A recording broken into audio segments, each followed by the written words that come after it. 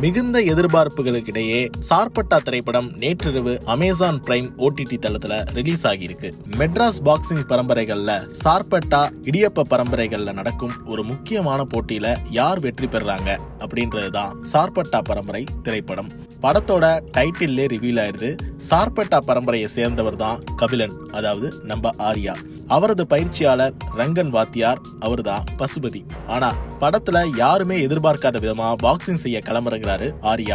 இடியப்ப பரம்பரையை சேர்ந்த வேம்புலிய ஜெயிச்சு ஆகணும். கடுமையா பயிற்சி எடுக்கிறாரு ஆர்யா. இடையில எமர்ஜென்சி காலத்துல சூழல் மாறுது. இறுதியில வேம்புலிய கபிலன் வென்றாரா அப்படின்ற கேள்விக்கு பெரும்பாலான நமக்கு பதில் தெரிஞ்சிருக்கும். ஆனா விளையாட்டுலையும் அரசியல் புகுந்தபோது போட்டியில வெற்றி பெற இரு வீரர்கள் பயணத்தில் இடையே வரும் சூழலை சுவாரஸ்யமா பேசியிருக்கிறாரு இயக்குனர் ப. ரஞ்சித். படத்தின் மிகப்பெரிய பிளஸ் படத்தின் கேஸ்டிங் தான். கபிலனாக ஆர்யா தனது உடல்வாகை பக்காவா ஒரு பாக்ஸிங் வீரர் போல மாற்றியிருக்காரு. அவர் கஷ்டப்பட்டு மெனக்கிட்டதற்கான பலன் கிடைச்சிருக்கு அப்படின்னு தான் சொல்லணும்.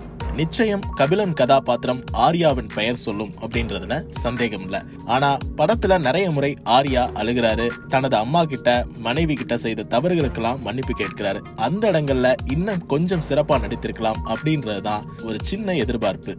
சார்பட்டா இடியப்ப பரம்பரைகளுக்கு இடையேயான மோதல் மோதலாக மட்டும் இல்லாம கபிலனின் அப்பாவிற்கு நேர்ந்தது போல தனிப்பட்ட முறையில் அவனது வளர்ச்சி பிடிக்காத சிலர் அவனை வீழ்த்த திட்டம் தீட்டுறாங்க. படத்துல கபிலன் வேம்புலி கேரக்டர்களை தவிர்த்து குறிப்பிடுவதற்கு இன்னும் நிறைய கேரக்டர்கள் வலம் வந்திருக்காங்க. முக்கியமான பாக்ஸிங் மாஸ்டர் கதாபாத்திரமா பசுபதி நடிச்சிருக்காரு. படம் முழுவதுமே இவரை சுற்றிதான் நகருது.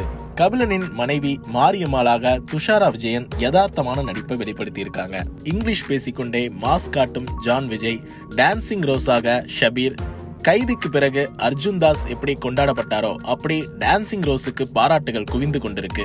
அவர் பாக்ஸிங் ரிங்ல வந்து போகும் காட்சிகள் மட்டுமின்றி தனித்துவமான உடல் மொழியால கூட்டத்திற்கு நடுவிலும் கவனத்தை ஈர்க்கிறாரு டான்சிங் ரோஸ் இன்னும் பல முக்கிய கதாபாத்திரங்கள்ல பலர் நடிச்சிருக்காங்க. அனைவரோட நடிப்பும் மெனக்கடலும் படத்துல பிரதிபலிக்குது. பாக்ஸிங் ரிங் ஃபைட்டுகளை ரியலா காண்பித்த அன்பறிவு டீம் ஒளிப்பதிவாளர் முரளி எடிட்டிங் செல்வா இசையமைப்பாளர் சந்தோஷ் அப்படின்னு அவங்கவுங்க வேலையை மிக சரியா செஞ்சு முடிச்சிருக்காங்க ரெண்டு மணி நேரம் ஐம்பத்தி மூணு நிமிடங்கள் ஓடும் திரைப்படத்துல போர் அடிக்காத முதல் பாதையை கொடுத்துட்டு ரெண்டாம் பகுதியில கொஞ்சம் சறுக்கி இருக்கு சார்பட்டா பரம்பரை.